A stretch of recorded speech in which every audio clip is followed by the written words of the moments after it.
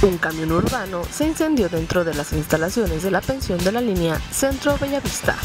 Los hechos ocurrieron alrededor de las 3 de la madrugada de este viernes en la pensión de la línea de camiones de pasajeros que se ubica sobre la avenida Seferino Ortiz, esquina con el Boulevard León 2. Autoridades informaron que desconocen las causas del fuego que envolvió al camión que terminó reducido en chatarra.